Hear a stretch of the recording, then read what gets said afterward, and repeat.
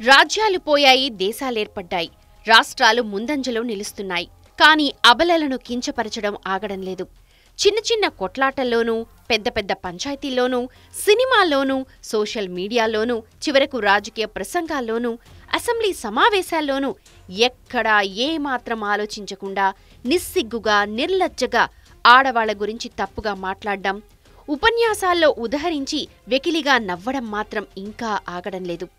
తీరిగ్గా తప్పు గ్రహించి మీడియా ఎదుట ప్రాధేయపడడమూ వీడ్డం లేదు. చదువు రానివారు కాదు చదువుకొని లోకజ్ఞానం తెలిసినవారు పట్టభద్రులే కాదు పలుకుబడి ఉన్న రాజకీయ నాయకులు ప్రజలు ఎన్నుకున్న నేతలు ప్రజలను పాలించే ప్రభుత్వ అధిపతులు. ఇలాంటి వారు రీసెంట్ డేస్లో ఆడవాళ్ళ మీద జోకులు వేయడం కామన్ అయిపోయింది. తమ ఉపన్యాసాల్లో తప్పుగా ఉదహరిస్తూ మాట్లాడడం ఎక్కువైపోయింది.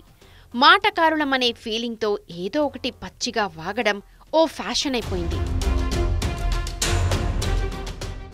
తాజాగా ఇలాంటి ఘటనే కర్ణాటక అసెంబ్లీలో జరిగింది.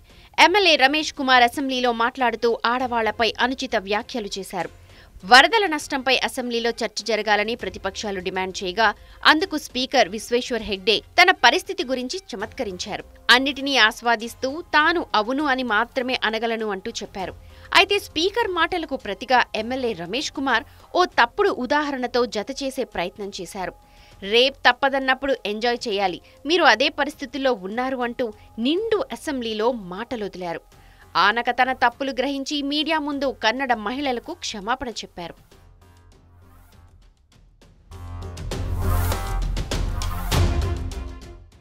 ఇక ఈ వీడియో బయటకు రావడంతో కన్నడ ప్రజలు ఎమ్మెల్యేపై సోషల్ మీడియా వేదికగా తీవ్ర విమర్శలు చేస్తున్నారు.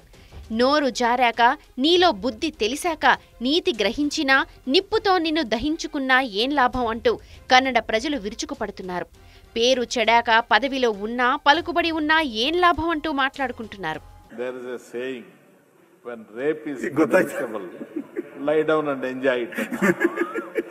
when rape is inevitable, lie down and enjoy it. But That's exactly the position into which you are. Sir ದಯಮಾಡಿ ಗಮನ ಸೆಳೆಯೋದು